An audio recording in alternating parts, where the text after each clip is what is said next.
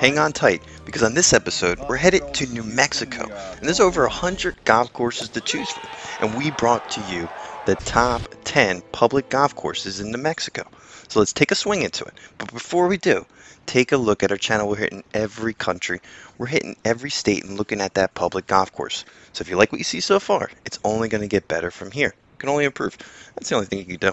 So let's zoom in now to our number 10th golf course on this list. And it's a college favorite. That is the University of New Mexico's golf course.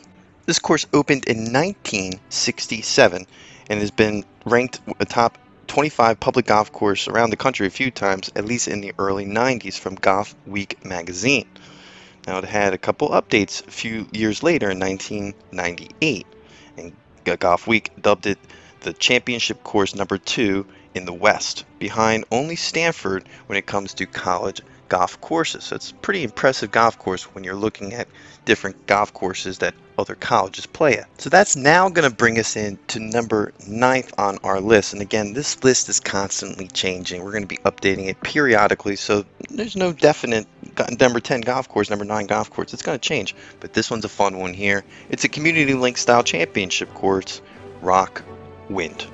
Now this course was built in 2020 2015 and has bluegrass fairways and bent green grass. It was designed by golf architect Andy Staples. It stretches 7,103 yards with a slope of 127 and a rating of 73. It's a public municipal course and it also had different change names throughout the years. But this is a fun golf course nonetheless. It probably should move a little bit higher on our, our list in a unique spot there. Uh, just a gem course, all in all.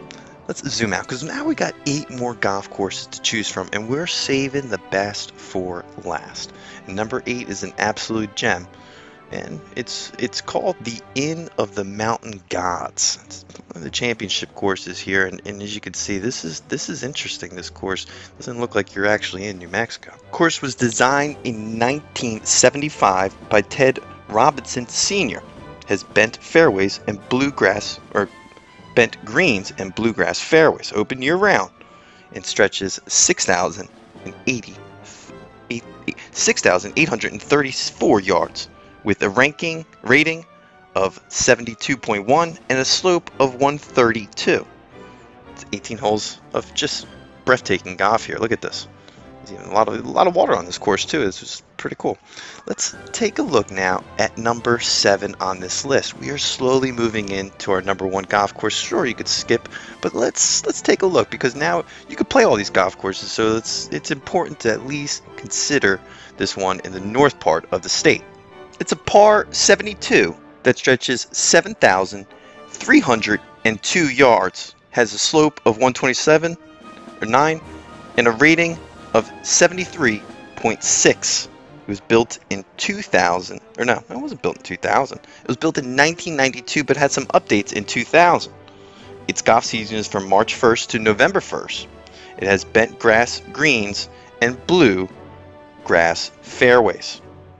It was designed by golf architect.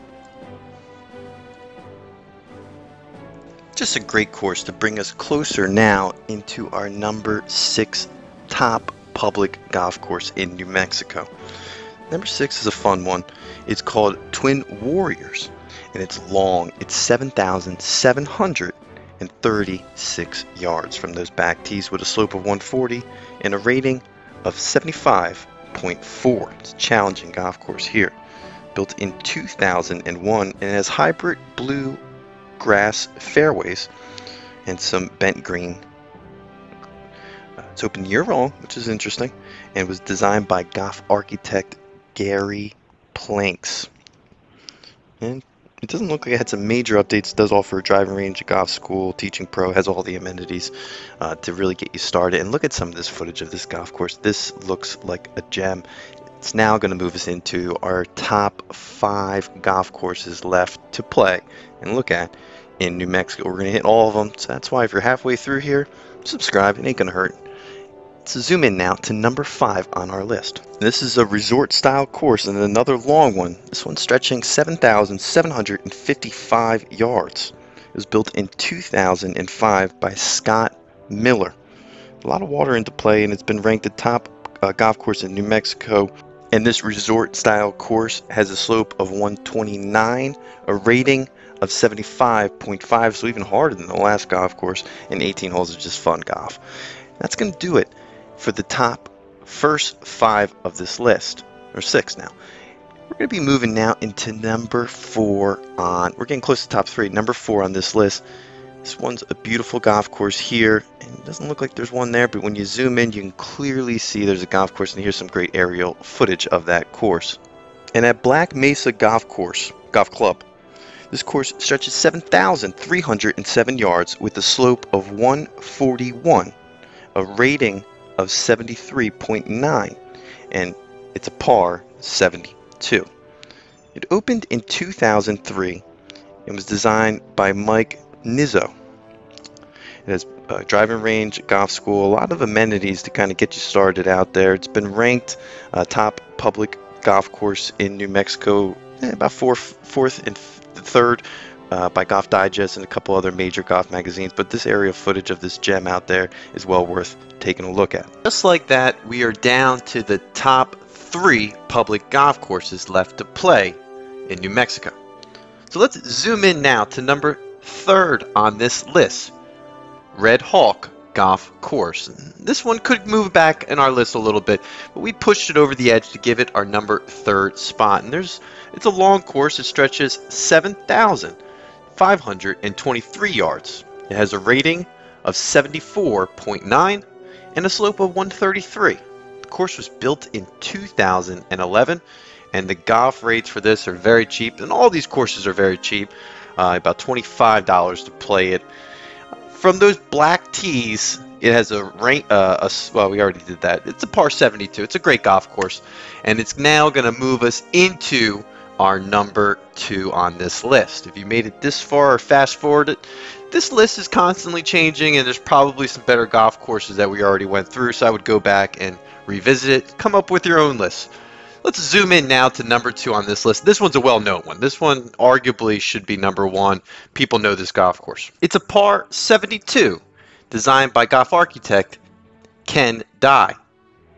It stretches 7,249 yards with a slope of 140 and a rating of 74.3. There's a couple tee boxes, five total to choose from. The back tees are the gold tees, and that is almost under 7,200 yards. An, a great golf course, a championship layout, multiple tee box as we just spoke of. This is a fun golf course to get out and play, and pretty reasonable too. A little bit higher than the last one, but the prices are changing with golf so much that we don't even want to put them in there. Let's zoom now into number one on this list, and if you made it this far, you probably already know which one we're missing. Look at this 18-hole championship course. There Ken Dye course here it was built in the year 2000.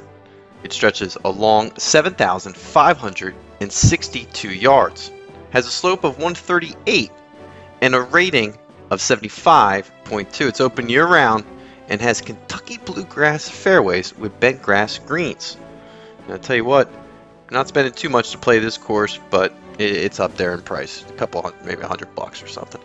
Uh, again, these prices are constantly changing. That's going to do it for our list. We have so much more golf that we missed, and we're going to constantly update this channel as we move throughout the, the updates.